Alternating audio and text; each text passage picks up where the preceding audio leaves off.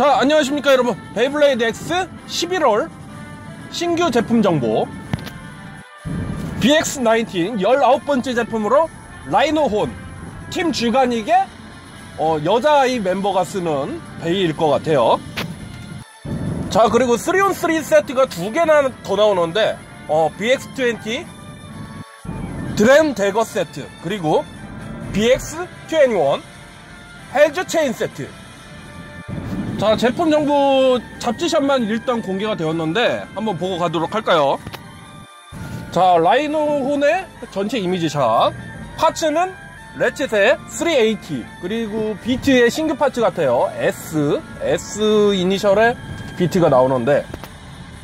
자 일단 라이노의 전체적인 모습을 보면은 팀 주가닉 멤버들은 어 베이 디자인 진짜 잘 뽑은 것 같아.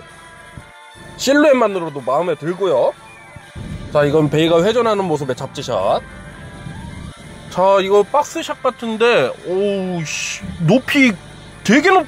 오 비트 높이가 엄청 높은데? 아닌가 이거 사진 찍은 게 일그러진 건가? 그림이 일그러져서 이렇게 보이는 건가? 아 parts 이름 여기 써있네 비트 이름이 스파이크라네요 지금 parts 설명이 제대로 보이지는 않고 그림도 좀 흐릿해가지고 정확히 볼 수가 없는데 돌기형 축이 달린 게 아닐까요?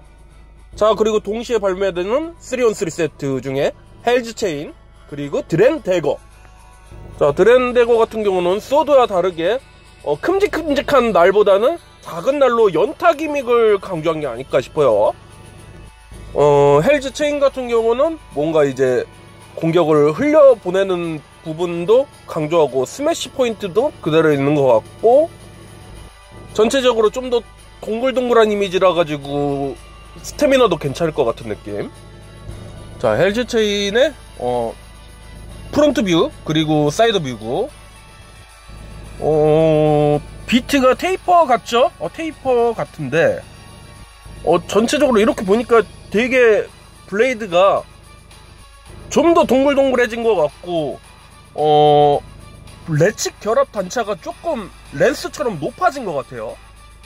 자 parts는 뭐 헬즈 체인 blade 560 ratchet 그리고 비트에 하이 테이퍼가 나오네요. 하이 테이퍼. 테이퍼가 높이 높아지면 괜찮을려나 모르겠네. 스매시 용도로는 괜찮을지도 모르겠네.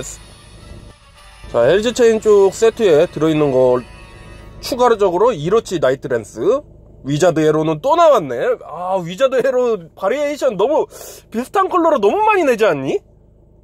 지금 주황색 빨강색 계열이 굉장히 많아요 variation이. 위자드 애로 같은 경우는. 개인적으로 고만 내야 될 것 같은데? 자 드랜데거는 아직 파츠 정보가 공개되지 않았는데 아마 오늘 중으로 공개가 되지 않을까 싶어요. 저는 또 추가적인 정보가 공개되면 영상으로 돌아오도록 하겠습니다